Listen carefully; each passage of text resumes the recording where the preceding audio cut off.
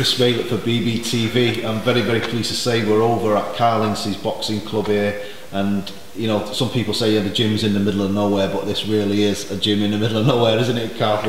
In the countryside here, it's absolutely beautiful and what a place to have a gym. Well, I'm a country lad, and uh, when I sold my office in Bolton with my gym, I decided to uh, come back home, convert a barn into a boxing gym, have it like the Big Bear, and that was my idea of it.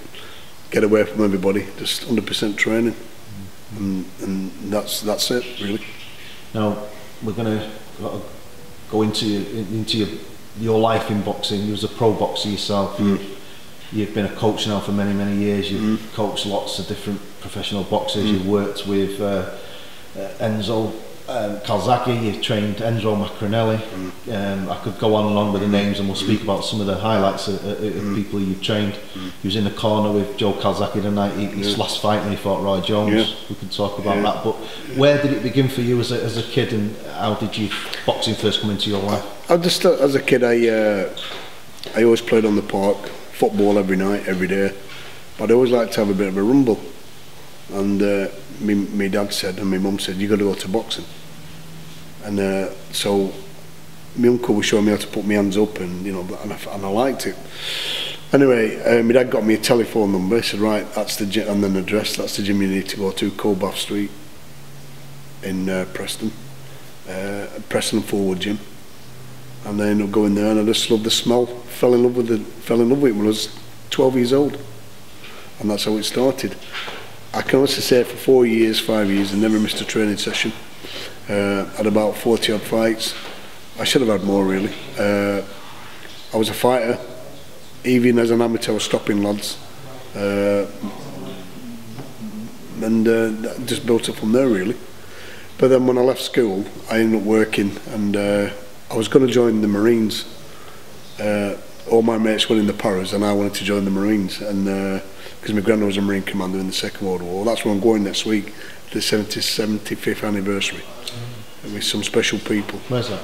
In France. Yeah, so I'm very militarified that way. And uh, but I ended up working and working on a farm. Uh, I didn't get in, I didn't go into the forces. I was I was waiting to go into the forces, but I ended up working, ended up going to college, and then ended up working away for three years on the motorway on the M25 came back home then I was 21 years old and then I decided to turn professional. But I missed about two three years of boxing really. But I did have the odd fights here. I still train but I still had the odd fights. But when you've been out of the game even at, senior level it was important that I, I should have carried on as a, as, a, as a boxer because three years out of the game is a long time you know even as an amateur. So it took me took me a long time to get back into it got into it got went through a good stage of my, my career you know, I, I was ranked number in the top 15 at one time. I could bang, I was a banger. I could drop lads. Anybody used to spar me, used to hate sparring because I had a great left hook on me. Right hand, and they'll tell you. You know, uh, I had 13 fights, stopped, won. I think I won nine, got disqualified in one. I'll tell you that story in a minute. I stopped about eight, seven, eight lads. But I was on the crush of it. Uh, but it was a bit different for the Northern lads up when we were pro because we was nobodies. It was all London boys at the time. Uh, been on fight night a couple of times, fought a couple of good kids, Kiko, Neil Patterson, beat him on points. Fought like Dean Barkley, very good kid, Frank Warren guy, very close fight, ex-ABA champion. Frank him to turn pro, I think. And uh, I just got beat by him, but I honestly thought, looking back on the fights when that I beat him. But anyway, Salavi, that's the way that's the way it was in them days. Uh, and then I, did, I went. Then I went up. I trained with a guy called Dave Garside. Uh, left me coach in Preston, Jimmy McMillan. Ended up going up to the North East, trained with a guy called Georgie Bowers. My manager was called Gus Robinson. Great fighter, great trainer. Uh, the Feeney brothers were there, George Feeney, John Feeney. They was the coaches as well. So I, I did that for 12 months, and uh, I was 28 years old, bit lonely. Heartbreak Hotel with a girl and all that stuff decided to come back home and call it a day. Retired, I've still got to carry on, still got to carry on. I ended up playing rugby. I mean, one of my proudest moments, I got playing eventually for Preston Grasshoppers in the first team. So I got, I, and I got paid for it as well, which I was dead chuffed as well. Yeah, so so and I've, I've done a lot of sport in my time. I was very good at judo. Did I play football for Blackpool Juniors? Uh, I was a blue belt in judo. Uh, you know, I was always an aggressive sort of kid, very determined, always wanted to win. Hate getting beat. Uh, and it's even now I'm still the same. I hate it when we get beat, you know, and it's like Liverpool tomorrow. You know, we've got to win. We've got to win. So. You, have been a, a, very successful businessman as well and juggle uh, a business life with uh, a boxing life as I'm well. Just, How did sort of you I, I'm, start I'm just a very, very lucky guy really because when I was boxing I was I was uh, well I said I went for a break hotel with a girl I, started, I never used to go out never drank I was, I was very very tunnel visioned I used to get up at 5 o'clock in the morning run every morning train in the afternoon and train. And I did far too much. My pulse rate was always 37 38 I did that for four years, and at the end, it got it started to get to me. And uh, and then when my girlfriend split up, like I said, I didn't I didn't drink, I never went out, wouldn't socialise, and then I had to change. I started working the doors, and then all of a sudden I got a bit of a reputation. I went back down to certain people, and people wanted to work with me. And I was only 11 stone at the time. I wasn't a big guy, but I wouldn't back down from anybody. And uh, next thing you know, somebody wanted to say, would you take over this pub and that pub? And next thing you know, my, my business grew and grew and grew. And now I'm a national company, work all over the country. So I've been very lucky, really, because my life is digging holes. I'm a, I'm a grounds worker, you know, I'm a farmer. And uh, this job, it's, it's made me a fantastic living. It's made me do what I can do in life. So I'm very lucky, really. So it almost came in, came to yeah, you uh, default, yeah, yeah, yeah, yeah, yeah. Mm. You know, I don't, I don't uh, boast about how successful I am because I'm always grafted. I'm always working. It's like I'm always wanting to achieve. I always want a British champion. I always want a world champion. So I never stop. So I'm never happy. You understand what I mean? People say, "Oh, you're doing well, Karl. You've done this. You've done that." I haven't. I haven't achieved the goal I want to get. So I'll be still at it. So, um, you know, I've had a bit of a phase with the boxing that I've had, to, you know, two years ago. A lot of my lads I had at one point I had six lads in the top ten from this gym, and these lads had no, you know, they had no ABA champions or whatever. These lads I brought up and I had six lads in the top ten. I had two European champions, I had umpteen Central Area champions, a couple of British contenders, Commonwealth champion. Uh, so I've done as a trainer. I think I've done really well, you know. So it's, uh, but all of a sudden the lads were retiring, the end of their career, and so I had I sort of had 12 months off, and then I'd Muhammad Ali wanted me to go back and train him and a couple of other gads, and I just thought, okay, let's uh, let's give it another go. But that's it at this moment of time, you know. You know, when, when you speak about your own career and speaking to you earlier before when we were chatting, you almost sort of dismiss it, oh, I didn't do much me and that kind of thing. But you know, when and I've heard you say as well in the past that you wish you had somebody like you, maybe uh, as a trainer when you was boxing. What is it? What, my, my, what, what is my, it my, like my, my, my, my problem was, uh, and it's no disrespect to my ex-trainers because they were great trainers. It's just it with me. My problem was I didn't believe in myself. Every time I sparred, I had to I had to get the better of everybody because I, it was lack of confidence, and that was my problem. Where if I had somebody like me what understood me, it could have channeled me into a better direction. And uh, that's where that's where it went wrong. I find a lot of fighters now, people do lack confidence, or the, the and that's where as a good trainer can get into their heads and, and work it out. You know, and sometimes it doesn't work. I've had I've had fantastic fighters come to the gym and we just don't hit it off. So it's no good me working with them if we haven't got that relationship. So if, as a trainer, you've got to understand your fighter. Personality, you've got to understand. You know, I've had a couple of trainers in the past say, don't get too close to your fighters. Well, I don't believe that. I believe to get the best out of a fight, you've got to get to understand him. And you've got to sort of live with him and understand how he works. And that's how you get the best out because you're working on stuff and there's days you get fed up with one another. But you know, it's not serious. It, it's just, it's just, uh, uh, you know, it's not personal. It, it's just that we, we uh, you know, it's, I'm trying to achieve, and he's trying to get the best out of one another, and that's what we're trying to do, and that's why you must have that bond. I believe you've got to have that bond as a boxer and a trainer. And it proves it because I've, I've, a lot of the old fighters always come back to me.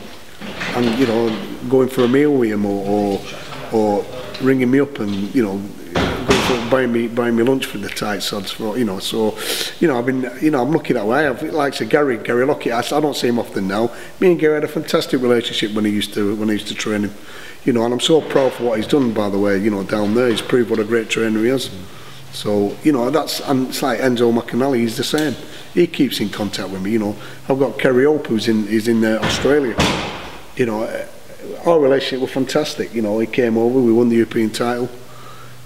Didn't want the fight to begin with when he found out we were going to fight Proksa. Didn't want the fight, we took the fight, you know, and we did what we did. What moment that was. Oh, it was, it was like, I cried on people see me cry that night because I was so proud I couldn't speak. It was, it was like true grit, like John Wayne.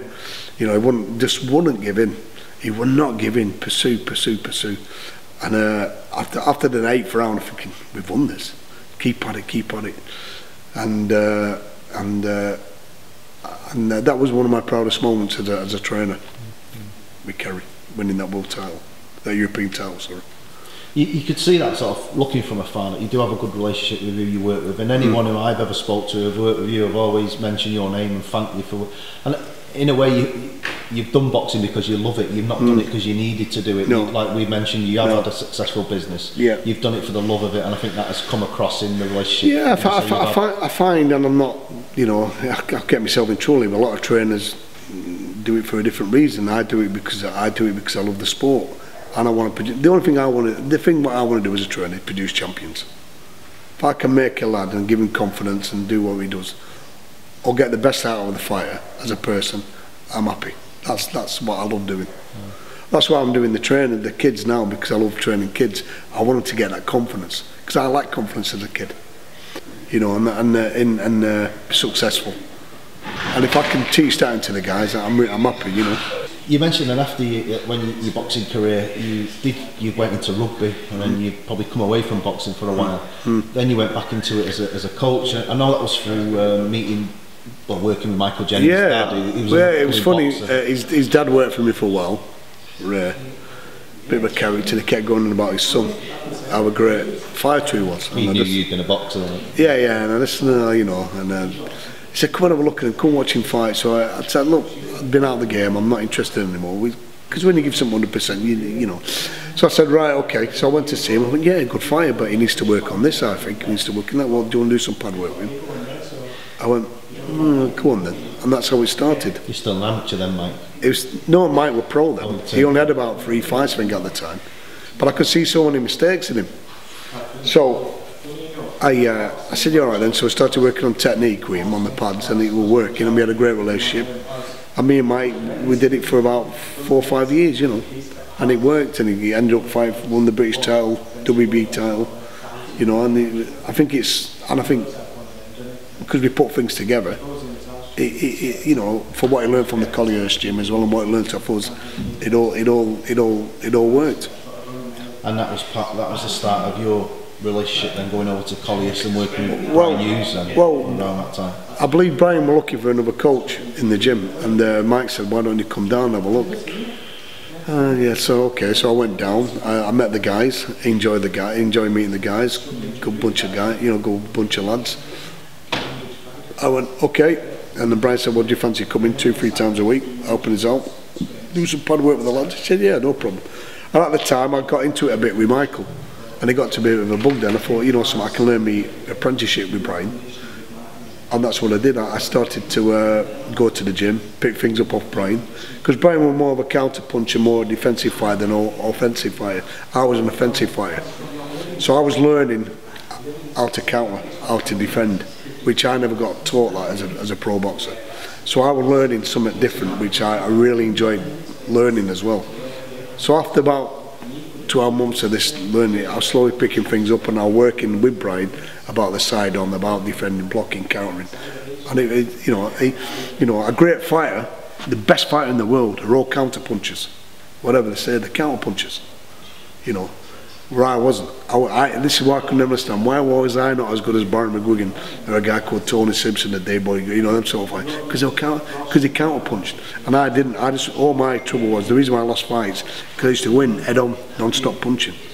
And that was the downfall for me. So I thought, well, if I can, knowing what went wrong, if I could coach that with the boys, then you know, it's going to be a bonus to him.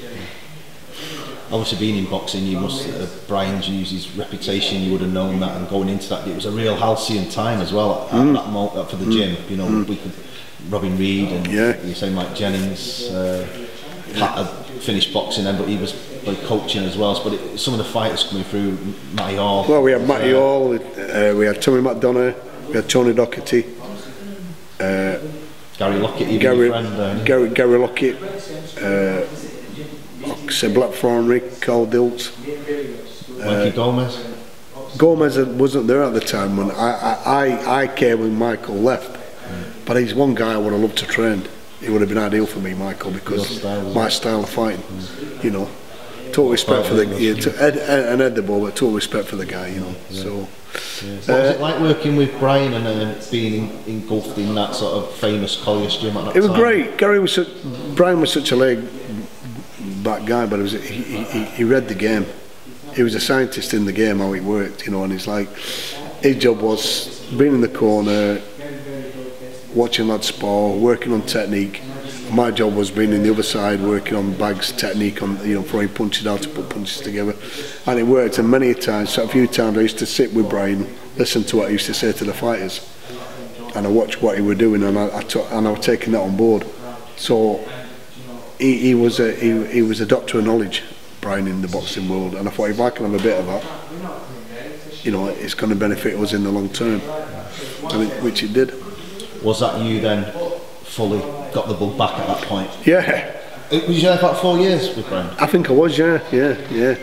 And you knew this is what I want to do. If, if it's here or, or not, I'm gonna. I'm gonna have a go at it. Have a go at coaching. Yeah, yeah. I was an opportunity that I could do it, and uh, and uh, and then I started my own amateur boxing gym. So I had the odd lads what I had a lad who lost in the finals who wanted to turn pro, and I thought he'd be a better pro than an amateur. So that was my first pro fighter, and then he just built it from there really.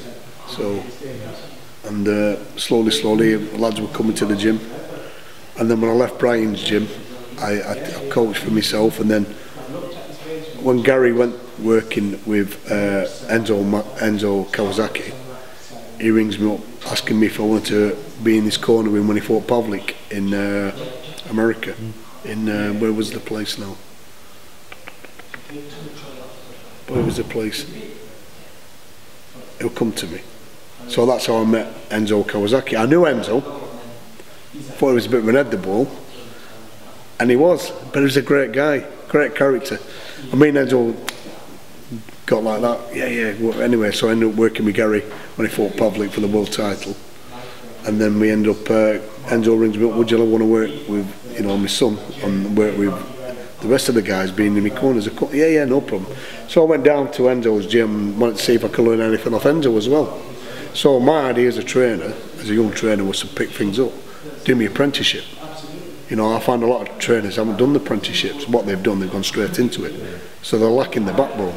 They might think they know the boxing world, but they don't because a lot of things what they don't pick up. And I see that. Even now I see that.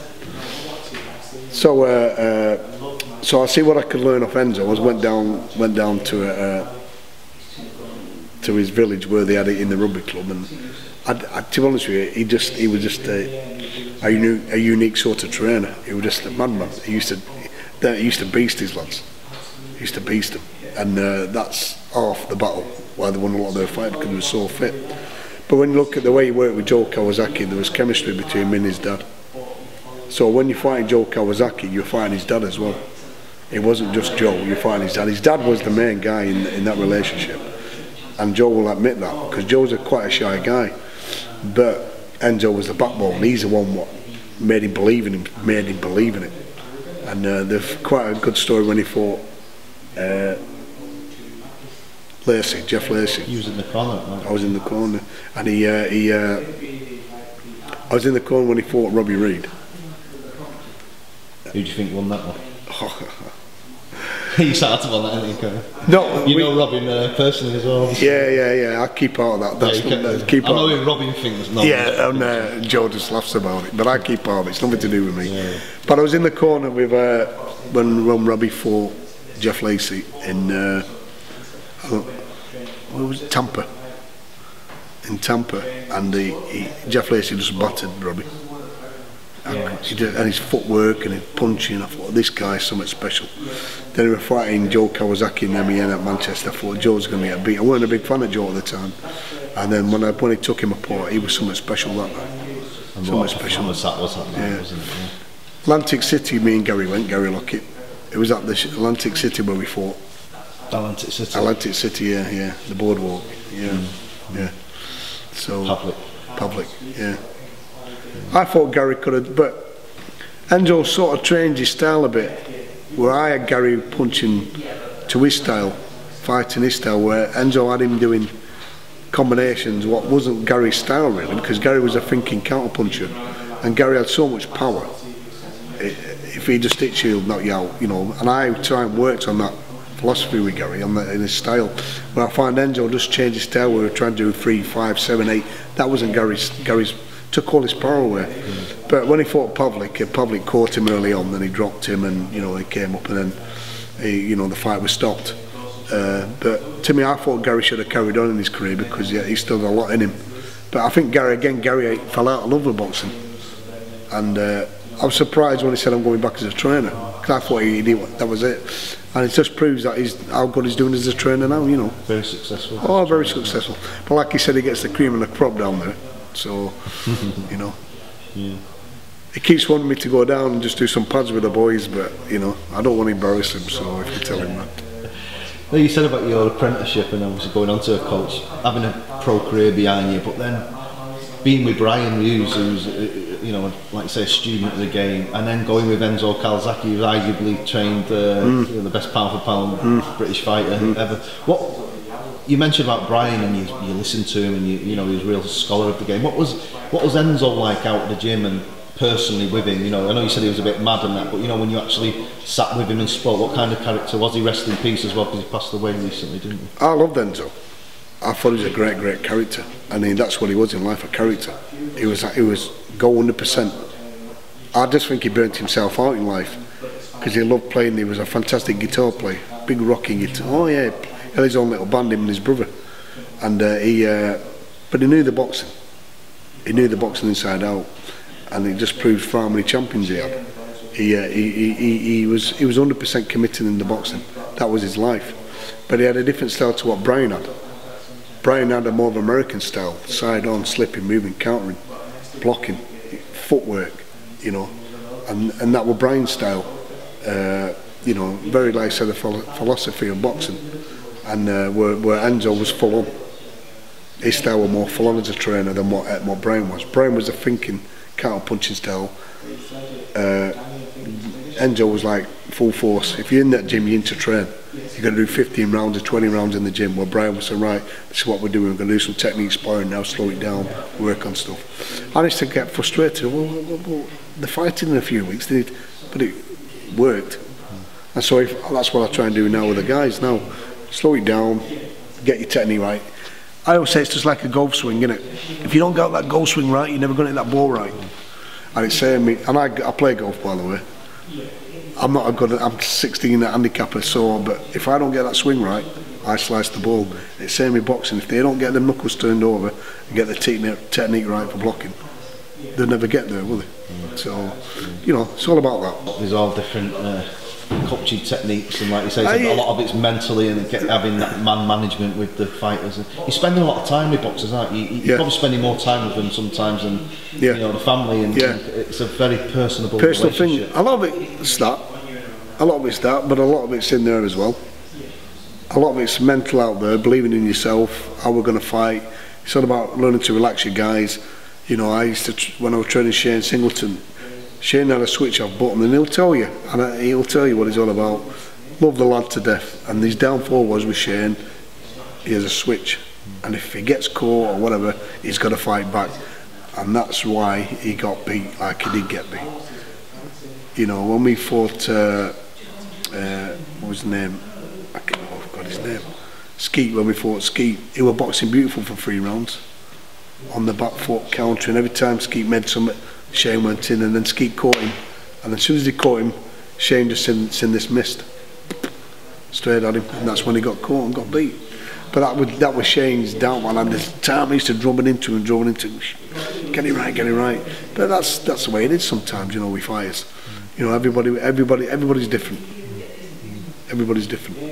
I mean, you have, you've had a, a, a, bit of a quiet period recently. You've not been um, doing a lot of, of training, but now you, you, like you say, back doing it again. But mean, look at some of the fighters you have worked with over, over the years, and you know, there's, there's some that you, you're telling me before, some real special talents. Mm. Who, you know, maybe uh, in, a, in a different era would have gone on to be you know, oh, yeah. very, very good. I mean, you even worked with you're saying about Enzo like Enzo Maccarinelli, you yeah, yeah, worked yeah. him for a while, so you had that Welsh connection. Oh, yeah, well, Ker- well I've trained a few Welsh lads. Was uh, that through having that connection with Gary Lockett? Yeah, yeah, yeah, yeah. I, I rated Gary Lockett. I thought he could. He, I thought he could have gone further, but like I said, I think Gary just had enough of his career. He had a fantastic contract with Frank Warren, and the contract was too good, so they slowed his contract down. If you understand, where he should have had six fights, he might have only had four fights, so that slowed his career up uh, where Gary should have been a bit more busy than what he was. I trained uh, Enzo Maccarinelli. Man, could he bang. Very talented lad. And Enzo will admit it, his biggest problem is he's an offensive fighter, he's not a defensive fighter. And uh, he, he got caught a couple of times because he wasn't, it was, it's all about going forward and uh, attacking. And when we fought the German guy, he, uh, we, we, we didn't, and he'll tell you, we didn't train proper for that fight because he should have been up here training with me. But Garrett, but Enzo wanted to stop down there. And I remember saying, look, Enzo, this is a very tough fight for us, very hard fight, we've got to work on stuff. Blah, blah, blah, no, I'll be right, I'll be fine. And that was the problem with that fight where, he, to me, he got beaten burning. But up to the seventh round, he was boxing really well. Yeah, boxing really well, but he got a bad habit of dropping his hands as Enzo, and the kid sent it bang right on the left yeah, it was an awful knockout, Yeah, yeah, it was a bad knockout. Yeah. But Enzo admitted it, you know, made a mistake, you know. But to be honest with you, I am, if I would have worked with Enzo from day one, it would have been a different, act to me, would have been a different story. When you get a fighter you've not worked with for so long, you know, there's a lot of mistakes you've got to try and get out, you know, work on. And uh, we didn't spend enough time together, really, me and Enzo. But Gary, Gary, Gary worked with him after I worked with him. And Gary did really well with him, you know, because he was down there in Cardiff training with him day in day out, so it worked really well for them, you know. But if Enzo would have stopped stopped up here, it would have been a different story. I think. Yeah. Another guy, Robbie Reid, trade Robbie. Uh, Robbie's Robbie, very talented guy, very talented lad. But Robbie, one of them, he wanted to train at different times. He had his own style of training. You know, he wasn't really my lad; he was Brian's lad. But I was his pad man. Uh, we got on really well. Uh, very talented lad, Robbie. Very talented, but he just wanted to do. I met Robbie really at his end of his career. Uh, well, three, four years before he ended his career, really. So he, that was after he fought Joe Calzaghe uh, and somebody else. But he, he, uh, he uh, talented lad, but he just uh, in his ways with, Robbie. So you know, I had to work with Robin. Then you know, I had to whatever he wanted, I had to do. Uh, Joe Calzaghe, a special fire when I was in the changing rooms with Joe Calzaghe and his dad, he wasn't just fighting Joe, you're fighting his dad as well. So both of them in one, you know, and, and that's that's why I think he was so strong because of his dad. His dad did, had a big influence to him. To him. And could, when you was involved, that you just could see that special, could feel it, ingredient, that spark that they had. Yeah, the spark, the ingredients, the aroma about it, you know, that presence about him, the presence about him together. It's like uh, like electric together. As soon as you walked in, you thought, this feels great, you know. Great atmosphere. He obviously had a very unique style as well, but was he such an hard worker in the gym as well, Joe? Yeah, I didn't really, I, with Joe, I didn't really him because of his dad really worked him. I just used to watch him. And he was something special, you know. He had, him and, him and his dad worked really well together. They worked really well. They worked hard, they trained hard, you know. Uh, just, just clicked with him, and it worked. So, you know, and that's why he was undefeated. Mm. I mean, you've had a lot of uh, boxers come through your gym here as well, and um, you know we could go through a few of them. But you know, who, who were the who were let's start by the most naturally sort of gifted fighters you've, you've worked with. Who, well, there's a, there's a few lads like I look at Kerry Hope. Kerry had to work on his style. Very fit lad, naturally fit like Kerry Hope. 100% fire, every time 100% fire. And I thought if I could get him to counter punch Kerry, he's going to be a world champion. But I, Kerry was one of them who wanted to give 100%. So I worked around his style. We won the European title. he won a, a fantastic fight called Pavlik, beat him. It was like the proudest moment of my life as a fighter, as a trainer. So proud of the way we carry. He's a real underdog on it. Oh, massive. Certainly, If you'd had a big bet, you would have won a lot of money. Yeah. I had another kid called Brett Flournoy. The more, to me, he was the most talented fighter I've, I've ever trained. And uh, we fought in the, uh, uh, what was that, prize fighter. And he lost in the final. To me, I thought he won the final. He hadn't been in the gym for six weeks. Trained for that fight. He beat everybody hands down. And then we fought in the final and he got dropped in the uh, the second round I think it was or was it the third round and uh, it was tiredness more than anything but he took a standing count because he, he was a bit what do I do anyway up. we just lost the decision to me I thought he still won the fight that was just me being right but he was one talented fire shame now God rest his soul you know what happened to him it's a tragic story well you know and he only rang me a couple of weeks before you know taking to come back to the gym gonna, yeah, yeah so you know. That must have been hard for you. Yeah, very. I'm quite close to Brett. Very, very close. You know, we had a bit of fallout because he did what he did, and I wouldn't entertain all that. Uh, but I'm very close to Brett, and but when he rang me, it was a week before he rang me, before what he died. He uh, kind of come back to the gym. Yeah, come on, you can still be a British champion. Just, it was all politics with boxing. It was Frank Maloney. Frank Maloney messing him around, and it was all politics. You know, it's a shame really. It was what happened to him. Uh, another good fighter I trained and uh, I'm very close to is a guy called Scott Fitzgerald. Uh, talented man. He's got different levels, that lad. He's going to step up. If he can get his condition get everything right in his life, he will be a world champion. He's, he's a maybe from as an amateur, was he? Yeah, his, his dad brought him down as an amateur. We worked together. We did uh, a lot of pad work, a lot of sparring. He won the ABAs, you know, we helped him win the ABAs. Uh, his first free pro fights? Yeah, he trained, trained with me, yeah. Yeah, I was his head coach. Uh, he, uh, he, he, he knocked them all out. So I knew I had something special. You knew he was a, oh, something special. I mean, he's gone on. He had that oh, fight recently with uh, Fowler, yeah, Fowler, yeah, and everyone, he's come to everyone's mind. But, yeah, yeah, yeah, yeah, yeah. Know, he wasn't. He wasn't. Me and me and Scott's not falling out. We never will fall out. I think the world of him uh, but he's a talented lad. And I keep saying to people he's got levels. And he's not got he's, he's not at that level yet. And when he's at that level, he's going to be something special. There's another Canelo. He, he eats like he, eats like a mule. He's got the boxing brain, and he's a tough lad as well. I think times a couple of fights he's had, he's not lucky at his best. But he's one of them. When he's when he's when he's under pressure, he'll, that's when he'll come come with tuition. I think, you know, he's, he's something special. He's the next guy to look to, to look up. Just prove with Fowler anyway what he need to follow. And he, to me, I don't think he was even at his, he wasn't even at his best even with Fowler. I think he'll fight a lot better. And if they ever fight again, he'll not Fowler out next time. There is something about him, isn't there? There is. And Trust me. Uh, Trust me. If he can get it together and get his head straight. Get his head right on, on well. things. Oh, yeah. This kid, you know, we're still keeping contact. Mm. Uh, this kid is something special. Mm. Oh, he's got a lot. Mm. He's a character. Mm. That's his. He's a character, you know. Yeah. So, Karl, you've uh, like you've, you said you've had a bit of break from the training. Are you? Uh, how did you get sort of the, the buzz back and you're back in here? Well, I, I had, when all the lads started to retire, Rick got in. He, he you know, he he had a fight against Jimmy Kelly being a bit biased, thought he won the fight. Uh, Shane Singleton, uh, he had a fight, got beat.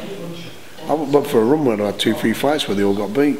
Tommy Tatham, he had a bad eye. You know, these are lads were in the top ten, by the way. There's a lot of uh, talk about Tommy as well. I think we had big, big plans for him going forward. That kid was a very, very dangerous fighter, and he could have gone all the way. He was just starting to put things together tidy his shots up, work on his uh, defence and offensive fighting. You know, just getting to learn to count and go forward. He uh, he he, uh, he had he had a lot of potential. He had a great fight in Manchester at the uh, Victoria Warehouse, and that was that to me that proved to me that this kid's got something about him. And then he had a bit of an injury with his eye, where he, he was getting double vision, and reflected. And uh, this fight we had in MEN, I said, listen, you know we shouldn't be taking this fight. No, I want to fight. Let's go for an easier fight. No, I want this fight. Would have beat him, would have fought Ian Conway for a, a eliminator or a British title, I think it was. Anyway, got caught on the eye, got dropped. He didn't, he didn't get hurt. He just he said I couldn't see cause so I took a standing count. Uh, dropped down to one knee, sorry, and he, he got up, came over, said I can't see. I pulled him out. I pulled him out of the fight. And really, that's the end of his career. So unlucky. But by God, that guy it. He used to just miss me sometimes with that left hook. Ah, gee, could it. Used to rattle me bones, used to rattle. So you, you, obviously that, that's happened. He's, he's had to retire. You know, Rick Godding and Shane mm. Singleton now. Is that mm. so? I think so. Yeah. It's been a bit of a, a, turnover, hasn't it, for you? you just Mike Stafford is another one. Mike Stafford did. From, Mike, uh, very underestimated. Very underestimated fighter, Mike. Uh, too much of a gap in between. Too much of a gap in, in between, I think. Um, Mike had all the potential to go all the way. I always thought Mike was a light heavyweight, not a cruiserweight. And now he's on a boat, he's on a push bike every day. He's down to 12 and a half, 13 no. stone. So, you know, it proves. But that Mike, the, one of the hardest men I've ever yeah. trained. Yeah. I've never seen him get hurt. I've never seen him, well, I've never seen him. The last fight, I seen him get caught with shots he's never been caught with. I decided to pull him out. It was me what pulled him out. He didn't pull out. I pulled him out of the fight because I thought he was going to get hurt. Yeah. And I couldn't, because we had six weeks to train for that Commonwealth fight against uh, Chamberlain. Yeah. And he got a big cut on his eye, big cut underneath there. And Mike, you know, that that round before we were getting caught with shots, he never used to get caught with, and I just thought, you know what, he's gonna get he's gonna get hurt here. And it was me what pulled him out. So Mike didn't pull out the fight. I pulled him out of the fight. Come back another day. He never forgive me for that, by the way. He does now, but he never did. Yeah. But I, you know, I want to. Happy I, well, I, you know, he's a fighter. And he's a I've got a, he's a tough guy. So why did he pull me out? I looked all right. Yeah, but Mike, I could see things. I could see you're going to get hurt. Yeah, but I, Mike, come on, come on, talk to me, like you know. And he, uh, he, uh, anyway, he's all right about it now, you know. But that's me. I, I don't want my lads to get hurt, you know. So, that, no, he was the one unlucky fighter, Mike, uh, Mike Stafford. I think the saddest one was uh, Rick Godding. I think he he he, uh, he had so much potential. Ranked number one in Britain at one time. Uh, he fought Bradley Price at Sheffield under the Amir Khan's fight, and he uh, he, he, he, he, he looked brilliant. And then uh, I think was down to fight Liam Smith or somebody for the title or whatever. Like got injured with his shoulder. I think it was an old army injury. We, you know, with that all that tabbing with the, with a Bergen. I think it affected his shoulders and uh, so he went out the game for two years. Came back, six weeks. So say about two three month comeback. He we got fighting Gary Corcoran. Gary beat him fair and square. But like Rick said, I don't think he would have lasted me Richard two years previous because Richard was in a different league. And then uh, and then he got back into it. and then we fought Jimmy Kelly, and I still believe he beat Jimmy Kelly. Maybe the last round we didn't work as hard in that last round, but he weren't he, catching Rick. Rick were blocking, you know. Anyway, that's what it is. So he's called it to have a bit of a break, and then I think he's retiring. He, well, I presume he's retired now. So. So it's almost like a, another start for you again with, with it, and maybe yeah. up a camp again. Yeah. There's one yeah. thing you, you have a, a good you know, you obviously you've got your, your experience as a boxing trainer, but you do have a good relationship with him, and even though you, you are an hard man and you know you've got that you have I've got, got that I've emotional got, side to you and a, real I'm, I'm like a bit of a rugby player. You've got to, you've got to have that team. You've got to be a team. Mm. to get the best out of a fighter of anybody you, you got you got to be a team. And you got to people who believes in you and who trusts you. And then and it's vice versa. Because I don't want to train a fighter you know is wasting my time. I want somebody who wants to be committed 100% where I'm 100% and you, you that's where it all works. Mm like I said, I've trained fighters where the connection's not there. Class fighters, world class, and I think, you know, we're not getting on, mate. Mm. And, you know, they've not come back, which, you know, it's one of them. But the fighters, when you've got that bond and that connection, you know, we're going, it's, you know, you're going forward on it. And that's why I look at it anyway. And you've got the, the enthusiasm for it. Well, we've got one of your fighters here, uh, Ali, here. I'm on I'm on the film, don't, don't spoil it for me. You always have to get it. Here's the new, the new uh, I'll see you when you're back from France. Monday. I'm here no, Monday. You, are you here on Monday? Brilliant. Yeah, I'll see you on Monday then. Okay, Top man, Chris. Uh, do you still have the same enthusiasm to be a success as a trainer? I think as I, I'm more experienced now and I see and things don't, I'm not as as fickle as what I probably was. I still, I still, I still want to win. I hate getting beat. Uh, I'm a bit more experienced where I don't let things get to me as much now. And if the right fighter comes into the gym, yep, definitely, yeah, I still have that hunger. I still got a lot to give as well. You know, I have my son, he's eight years old and he wants to fight, you know, but I don't want him to fight. I want him to play rugby. Uh, and, you know, the young kids, and that gives me a bit of a, you know, but when I see something special and I go, you know, something, I love to train him, I love to be with him, and I get, I, you know, and that's, you know, that's that's how I feel about it. And I just hope that one day that we do get a British champion walking into the gym, you know. So yeah, the hunger's still there. If the right fighter comes along, I'll definitely, yeah. Just having the opportunity, really, innit? But one thing they'll get off me is 100%. And I just believe if you work if you work it together, you can go anywhere. There's one thing about you, mate. You've always got on with your trade and done your job. You, you, you're not, you're not, you're someone who stays under the radar. Um, I don't you, know, need- you don't, you, I- you never really hear of you, and I respect that. And I think that, I think I think I've got respect through the boxing world. Everybody knows me through the boxing world, uh, so that's nice. Because I've had a lot of trainers, a lot of managers. Well, where have you been called? Don't pack in, come back. You know, be a, no, I'm still around. I was with Frank Warren the other week. How you doing, Karl? Nice to see you again. Blah blah. When are you back in? Sort of thing. So it's nice to know that people still wants me around. You know, even the boxing board of control. Fucking on Karl's here. Blah blah. Yeah yeah. You doing? When are you back? You know. so that's nice. That's nice, and that gives me a bit of a incentive to get back into to keep into it. You know, like I said, I'm older now, so I don't want to waste time with anybody. I, I want lads if they want to come to the gym, we train. We're, we're going for one thing. We want to win titles, and I believe I'm good enough to do that. You know, so. I don't need to, I don't, I'm, I'm, a, I'm a quiet man in the, in the industry. People don't think I'm quiet, man. I'm quiet as I don't, I don't, I don't need the, the all that bullshit, all that hype. I don't, I don't need to do that. Just get in the gym, get into the ring, get in, get out. You know, I want to be back home with my family. You understand what I'm saying? I don't want to be out gallivanting after I've won a fight. He Said till I do go out, I'm not going out. Blah blah blah. Uh, the thing is, well, with boxing, it's all about being honest with people as well. Because I find in this game, there's not a lot of honesty in this game, and I think you've got to be honest with your fighters. Same with these, a lot of managers and promoters. You know, we've been, I've been messed around that many times over the years. I don't, I can't be asked with them anymore. You know, and I tell them as well, and a lot of them can't see why I'm like I am. You know, but well, you know, end of the day, I'm protecting my lad, and that's it. So, be honest and straight with people, and that's you know, and I think you'll be all right, and that's the way I am. You know, so. No respect for that. Yeah, yeah, no, and there's no hidden agendas with me. I don't need the money. I just want success. I want lads to, you know, I'm happy to win titles, and if I can help them along, that's what gives me the buzz. It's like I wish I could be the Liverpool manager tomorrow. Be there, you know. My proudest one, one of my proudest moments was uh, playing my first team rugby for Preston Grasshoppers. And it was meant to be a battle because it was a fight against Kendal. Every, last year they played, they had a big massive battle for having set up here. And that was my proudest moment to play on the first team pitch for Preston Grasshoppers against Kendal. And we won and I scored. Ah. Yeah. Now I coach under eights on a Sunday now. I'm a coach for the under eights as well for the rugby.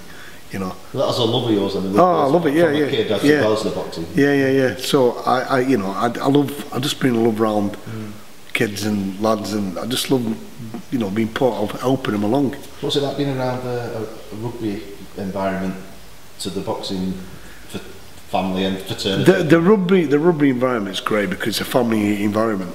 Well, boxing is very independent. So what I've tried to do is is is, is uh, channel that into this gym that we're friendly. If we do a bit of a warm up, we might do a touch rugby just to warm them up and stuff like that. You know, with the kids, we'll go on the, field and do some bit of rugby training. You know, get a bit of mauling with the ball and stuff like that. It's all part of it. I learnt so much with rugby as well. When it comes to fitness, about con- conditioning and recovery. You know, you don't realise how much learning off different sports helps your sport. But when I was boxing, it was 100%, 100% every time. I was, and how many days I used to be tired going to the gym. I overdid it. And that's what I said to the lads, look, you know, you got to learn from different, you know, not just from your sport. You go, that's why I'm impressed with the MEN. Um, is it MEN? MN, MN, MA, sorry. Because they're up to date with the, with the training. You know, and if I can bring some of that into the boxing, I'll do that. I don't like the sport, but I like what they do with the conditioning and what they do with the training because it benefits the fighters. Uh, You know, you always want to try and get the edge every time, don't you? And that's what I try and, you know, install with our lads as well. So, It's advanced a lot on that side of things, hasn't it? The Yeah. conditioning and, you know, compared to what it was. The is the big thing, yeah. years ago. Th- This is the biggest problem, the dieting, the drinking waters and all that stuff. You know, there's a lot of good uh, conditioning coaches out there, but they don't understand this game.